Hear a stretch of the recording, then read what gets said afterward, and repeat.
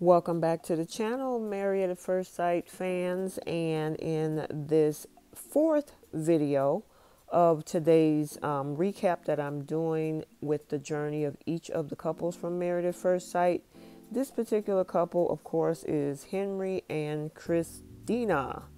And boy, did we have a season with them. But before we get into this video, if you are new here, smash the subscribe button to continue to get quality content regarding all of our dating and reality romance um, recaps.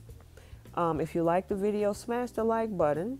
And then, two, if you want to engage with me in the comments, feel free to drop a comment. I'd love to do that and get a chance to talk to you guys. So, without further ado, let's jump into this video.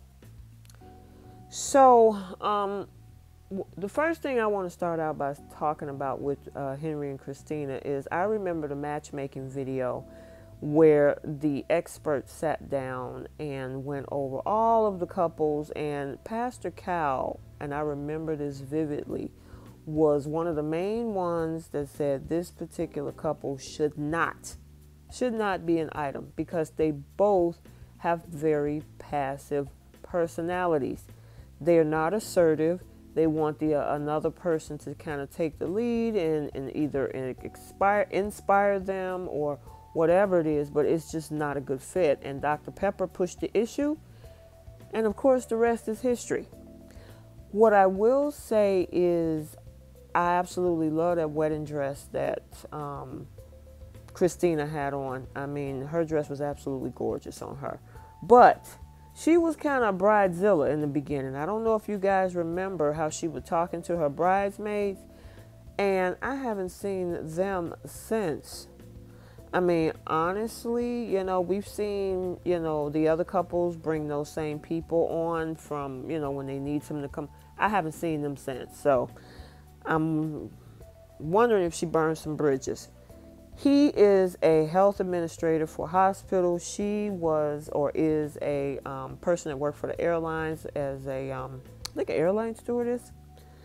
But they started off having issues because of the fact that Henry is he was just so timid and was not assertive in talking of having conversation with her at all. I mean, she had to drag it out of him. Do you like me? Do you find me attractive? What do you think? We now married, and he was like, yeah, mm-hmm. oh yeah, I, I find you kind of, you know, I find you attractive. And I mean, it was like pulling teeth with Henry.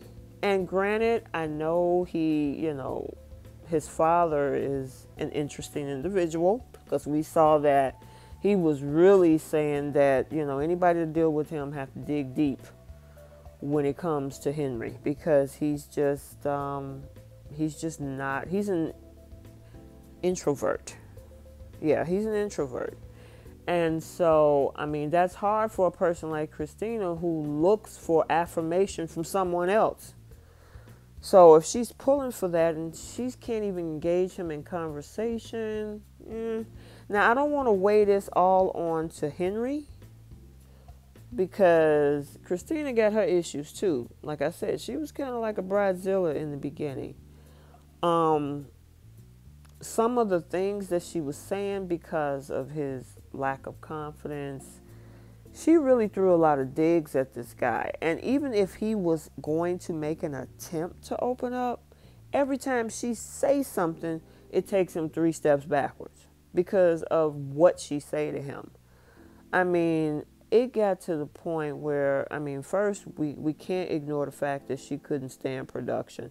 Like I said, between him, I mean, between Christina, Brett, and Brandon from season 10, and even AJ. I mean, he's doing a lot better with it now on Couples Couch, but they didn't like production. And she was like, Look, give me a list of something to talk about. This guy, he's not talking, he walks off it was just a match not made in heaven for these two. I and all I can think of every time I cringe with watching both Henry and Christina is what doc, what is what uh, Pastor Cal said. No, no, no. They're two passive individuals. They need people who's going to bring them out of their shells. They're going to wait. They're not going to be assertive.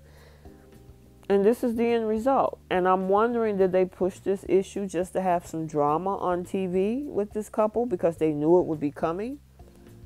I don't know. So then we had the issue come out with, um, you know, Christina admitting that she has ADD and that she had been off her, her meds for about a month and a half.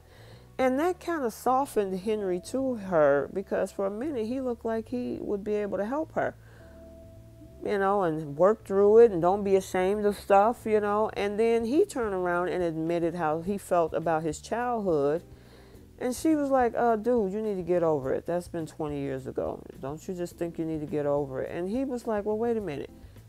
It's okay for me to support you, but you can't support me and what I feel. That was just, uh, uh, Christina, really?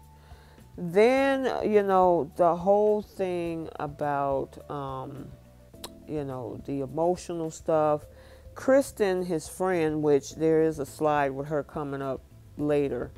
But I mean, his friend Kristen was not about Christina at all. Even from the wedding itself, she was like, "I'll never respect her, his marriage. Forget that. Uh, no, mm-mm." And she has just been not a no go. It's been a no go for Kristen ever since. And I'm wondering now. Granted, you know they had him and Kristen had a dating relationship, but obviously, you know, it didn't work out with him and Kristen, but she still remained to be one of his good friends, which was the whole thing about him helping her through a rough time in her life. And she told that story to Christina as well. And Christina was like, oh my God, I get to see another side of him. And, you know, maybe, and I think that's what led into the her releasing and being vulnerable about her ADD. A lot of people thought she was lying We'll never know. As I said in my previous episodes, I'm not going to judge that. If she has whatever she has, truth or not, she's going to have to deal with that. Okay? So, karma is what it is if it's a lie. But she did admit later in the season that she sometimes can be a flamboyant liar. So, who knows? You know, that came out of her own mouth. But I mean, she has been nitpicking him most of the season, talking about his lack of confidence. She she's passive aggressive, throwing digs at him, and then there's this whole thing about her not having a place to stay because when they went to each other's houses, she's like, "Oh, I just got my stuff thrown in the car. A lot of my stuff is in California," and she originally told Henry that she lived in the Central Business District. So which is it? Do you live there? Do your mom live there? Are you living with friends? Are you I would hate to hope, you know, I mean, as much as a lot of people can't stand her personality, I hope she's not homeless. Nobody deserves to be homeless. Homelessness is a big problem in this country, but you know, hopefully she does have some place to stay. We just don't know where it is. But when, you know, he called her out to the experts and called her out on that whole thing it spiraled out of control for the last three episodes i think from episode 13 up to where we are now just having episode 15 it spawned into this whole web of deceit because he already called that deception in itself about her having a place to stay and then they're locked into this quarantine they move to separate rooms and then she goes sneaks out till three in the morning he doesn't know where she is he goes and stay gone at the grocery store. They're just like two ships passing in the night. It's just that bad. But they got to stick out the experiment because, you know, they got a contract. However, you know, of course, we see Kristen again um, later in the season, and she was like, oh, yeah, she told production, yeah, she's a liar. Yes, she is. You know, and as much as Henry couldn't stand Brett, I mean, it's interesting that Brett had also interaction with Kristen. Kristen is like, uh, yeah, he's trash too. But we won't even go down that road. But yeah, Kristen picked up on the fact that, you know, she's just not being genuine, you know, the passive aggressiveness. And then to make matters worse, season uh, 11, episode 14 and 15 brought on of course, her because she's feeling backed in the corner about being put on this whole thing about being homeless says that she got some mystery text message saying that you know, he's sleeping or having an affair with another man. And he's like, uh, no, I'm not gay. I wouldn't come on a show trying to be with a woman if I was undercover. Look, listen, Henry, whatever your preferences is, it's up to you, you know. But for her to use that as a form of blackmail, because she's basically saying, if you continue, I'm going to hold this over your head if you continue to talk bad about me. And I'm like, oh my God, who wants to live like that? You know, and honestly, they shouldn't have even went on the retreat together. But again, they're in a contract. So, you know, it's it's so unfortunate that, you know, Henry had to go through this. And let's talk about that retreat. I mean, she cried every drop of a hat she told Amelia and um, Amani, you know, that sometimes she can be a flamboyant liar and that she stretched the truth. You know, Henry had the conversation with Woody about that, and Woody was like, uh, that would that couldn't have been me. But he's not as vocal about it, and I think he's just trying to get through this process and get out the door.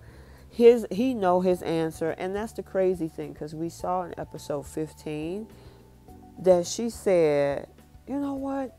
I see him in a different light and you know, she was talking to her friend who really didn't give her any advice, Mr. Andrew, because Andrew was in an earlier episode. A lot of people thought he was just a prop because he seemed like he didn't know what Christina was talking about. But yeah, I mean, you know, I'm pretty. I'm, I'm, you know, I'm, a, I'm smart and all of those things. And yeah, you can feel those ways about yourself, but that doesn't mean that Henry see you that way, and you can't force him to. And your behavior and your passive aggressiveness and your lying and your blackmail, that's definitely going to put you in a bad light, Christina. And it's just not. It's just bad. I mean, it's toxic. And then you say you got all these other guys who always, you know, they would jump me and get in bed with me instantaneously. Yeah, but obviously they weren't on anything because you're not with them now. You know, and then these tears, I don't know if they're real, if they're fake. Only she knows. So, hey, it is what it is. But he gives her a compliment. She cries. And it was so funny that Henry said, it seems like we in two different realities because all he did was compliment her writing on the whole thing with um, the retreat that she said about her younger self. And she's just like, she never got a compliment in the world. Or he told her that he fell in love with her and he'll never leave her. And she went on this melodramatic, you know, emotional roller coaster. I don't know. It's all crazy. At decision day, I know vehemently that Henry is going to give an emphatic no, no. I don't know about Christina. Because Christina in this last episode, kind of like a day late and a dollar short, was kind of opening her eyes to say, hmm, maybe we can work on things. Because she even asked him to go to counseling, and he was like, he could have had to keep himself from laughing.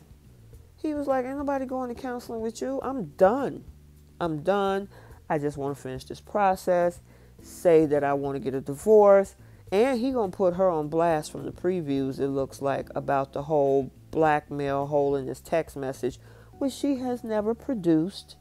So we don't even know if it exists. We'll definitely see what the fallout is from the whole text message conversation when Henry presents that to the expert. So they should have never been together. I hope they both say no. He goes on with her life his life, she goes on with her life, and they live happily ever after separately.